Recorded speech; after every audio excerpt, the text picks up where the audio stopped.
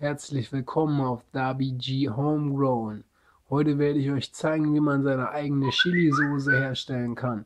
Warum das wichtig ist, seine eigene Chili-Soße zu machen? Du weißt, was drin ist. Du kannst alles reinmachen, was du gerne haben möchtest. Du kannst deine Zutaten selber auswählen.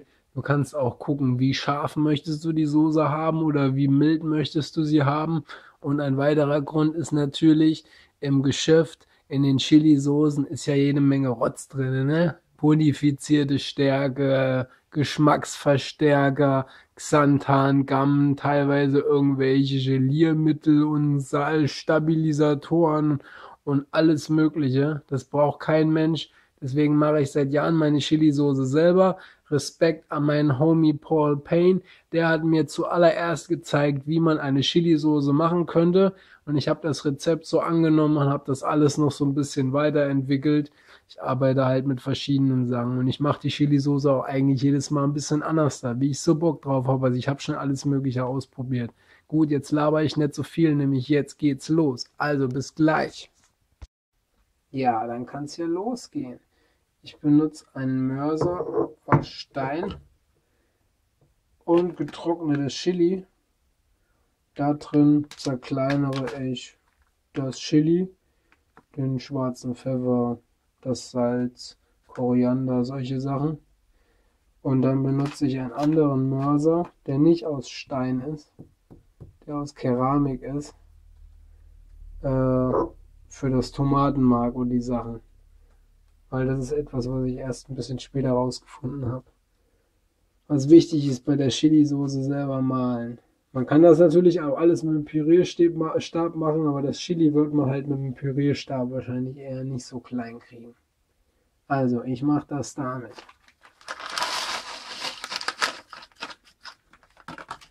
So, und dann muss das Ganze klein gemörsert werden.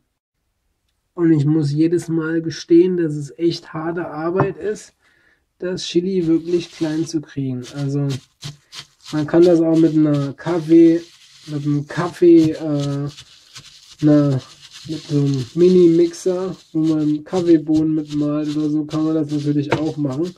Weil das so mit dem Mörser klein zu machen, ist schon echt jede Menge Arbeit. Aber ich mache es auch trotzdem immer so. Also das ist schon echt eine Arbeit, wie ihr merkt. Aber das Chili wird klein.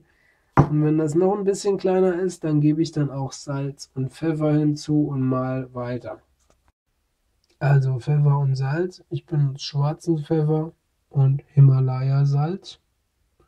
Davon, na, für das, das sind 20 Gramm Chili, benutze ich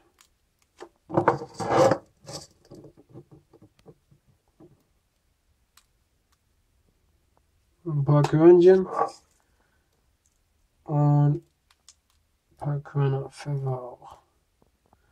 Ja, ihr könnt alles, was ihr gerne möchtet, hinzufügen.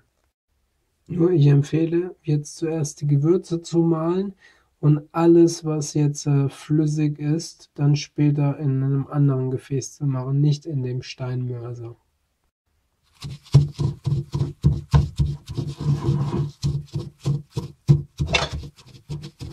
Um euch hier auch mal einen Einblick ins Stampfen zu geben, dann muss man jetzt schon ein bisschen arbeiten. Also fast wie eine Frau zu massieren, okay? Naja, man muss schon noch ein bisschen mehr Druck anwenden.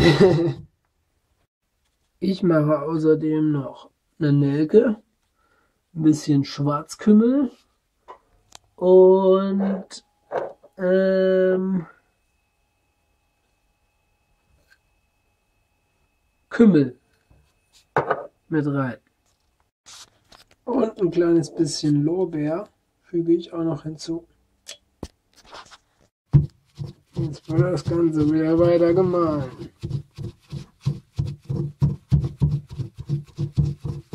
Salz ist nicht so wichtig, weil es ist ja schon sehr scharf und wenn man viel Salz dran macht, dann ist das Ganze natürlich noch viel extrem schärfer.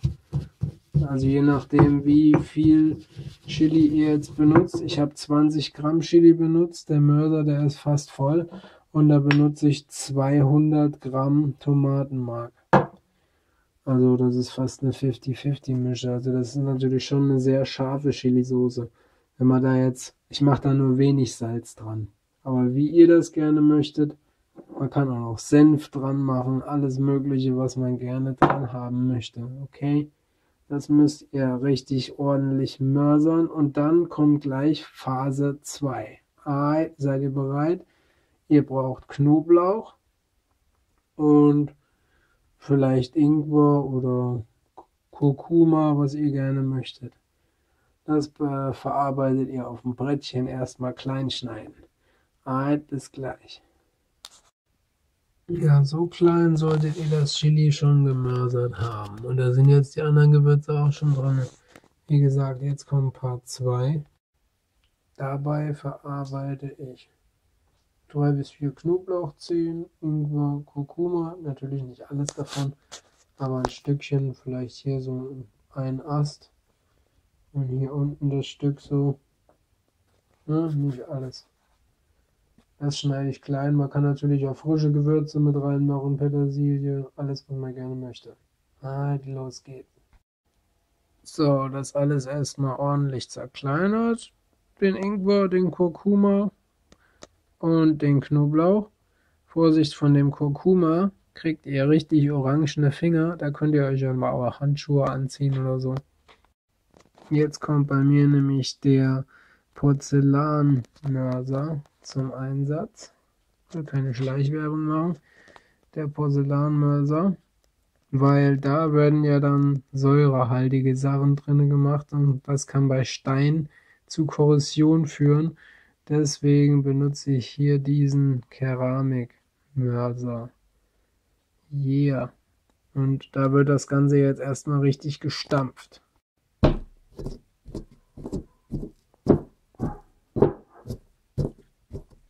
Da kommen auch die ganzen Wirkstoffe aus dem Ingwer, aus dem Kurkuma, aus dem Knoblauch raus, wenn es richtig gestampft ist. Daher ist das halt auch sinnvoll, das so zu tun bis der richtig schön klein ist. Dann könnt ihr da eure Gewürze hinzugeben, die ihr gerne noch möchtet. Das Petersilie ist, Schnittlauch ist, Dill ist, Zitronengras ist, was auch immer ihr gerne haben möchtet, solltet ihr jetzt da noch reinhauen. Ich, ich mache da ein bisschen Oregano.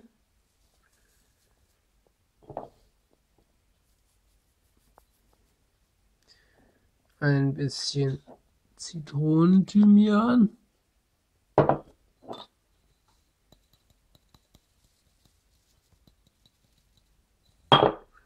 und ein bisschen Petersilie rein. Frische Petersilie wäre natürlich besser, geiler auch, aber habe ich leider gerade keine da. Außerdem kommt für die Haltbarkeit ein bisschen Essig dran. Da könnt ihr Apfelessig nehmen oder Kräuteressig.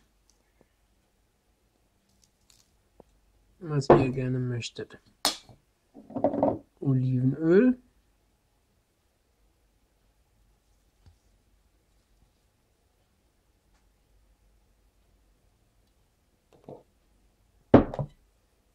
Könnt auch Zitronensaft reinmachen. Man kann Apfelessig verwenden. Sieben Kräuteressig kann man verwenden. Verschiedene Gewürze. Ich habe zum Beispiel eins, das wollte ich mal ausprobieren. Smoky Barbecue. Aber bevor ich das bei einer Chili-Soße einsetze, weil das wird ja schon eine ganze Menge Chili-Soße, das reicht gut anderthalb Monate lang und die ist auch so lange haltbar. Das erreicht man dann natürlich durch den Essig. Hier sieben Kräuteressig habe ich genommen. Man kann auch anderen Essig nehmen, welchen man gerne nehmen möchte. Dann kommt da jetzt natürlich noch das Tomatenmark rein, ja. Also das Ganze oder fast das Ganze. Ne? Level für Level oder wie ihr das machen wollt. Ihr könnt es auch ein bisschen verdünnen mit noch ein bisschen Wasser dazu. So, dann ist die Mischung auch so ziemlich da, ne? Ihr seht, da ist einiges an Öl und Kräutern und Gewürzen und aber jetzt auch einiges an Tomatenmark, was sich ganz gut miteinander vermischt. Das könnt ihr jetzt erstmal ordentlich vermengen. Und dann kommt da natürlich auch noch das Chili, was ihr mit dem Pfeffer und dem Salz und dem Koriander oder was ihr reingemacht habt, gemahlen habt. Man kann Senf reinmachen. Senf, Kurkuma und Koriander zusammen, das ist dann natürlich Curry, ne? Nur du hast den Curry dann selber gemischt. Haha. Also man kann alles Mögliche ausprobieren. Man kann ganz neue Sachen ausprobieren oder was ganz Traditionelles machen. Aber man hat die Zutaten selber zusammengestellt. Man hat sie vielleicht selbst aus dem Garten gepflückt. Das ist was ganz anderes. Okay? Respekt. Weiter geht's. Ja, da komme ich zurück zu meiner Gewürzmischung aus dem Mörser. Die kommt jetzt hinein in meine Tomatensoße. So, ich habe das Ganze schon ein kleines bisschen untergerührt. Aber ihr seht, da ist noch ziemlich viel Chili und das Ganze wird jetzt richtig ordentlich miteinander vermengt. Und dann müsstet ihr 400 Gramm Chili-Soße rauskriegen. So große Gläser in etwa. Zweimal 200 Gramm.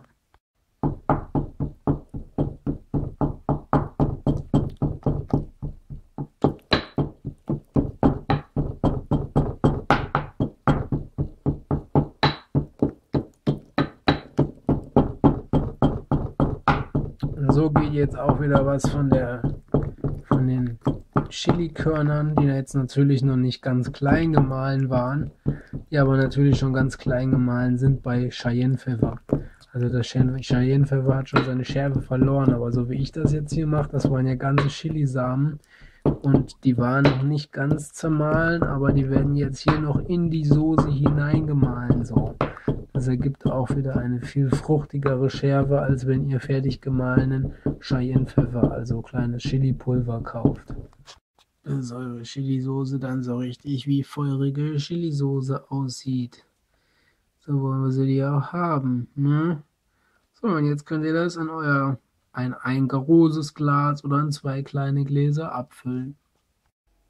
So. In so zwei Gläser habe ich mir das jetzt abgefüllt. Das sind zweimal 200 Gramm ungefähr. Die könnt ihr jetzt im Kühlschrank bis zu zwei oder drei Monaten sogar aufbewahren. Könnt ihr ja immer wieder probieren. Solange wie ihr da nicht mit einem schmutzigen Messer reingeht oder mit einem schmutzigen Level oder so, dürfte da nichts passieren, okay? Ah, dann lasst euch schmecken. Macht's gut abonniert meinen YouTube-Kanal. Ich sag Peace, schönen Abend noch, haut rein, check.